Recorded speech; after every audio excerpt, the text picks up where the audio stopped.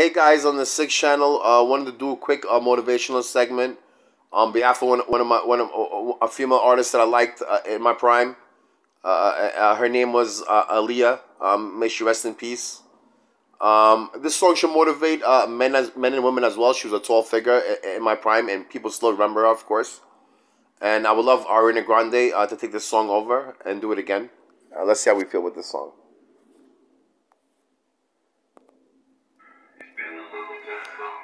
Shout out to Timbaland.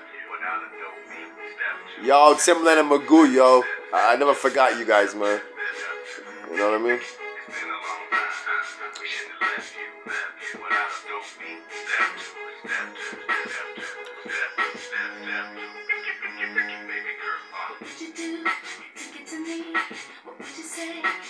You?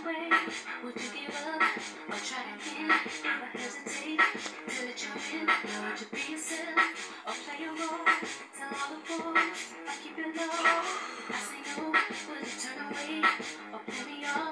The chorus, listen to this.